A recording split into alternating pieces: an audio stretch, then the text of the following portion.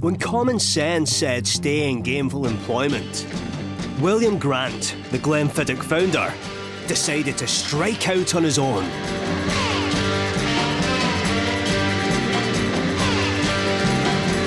With the help of his nine children, he followed his dream of creating the best dram in the valley.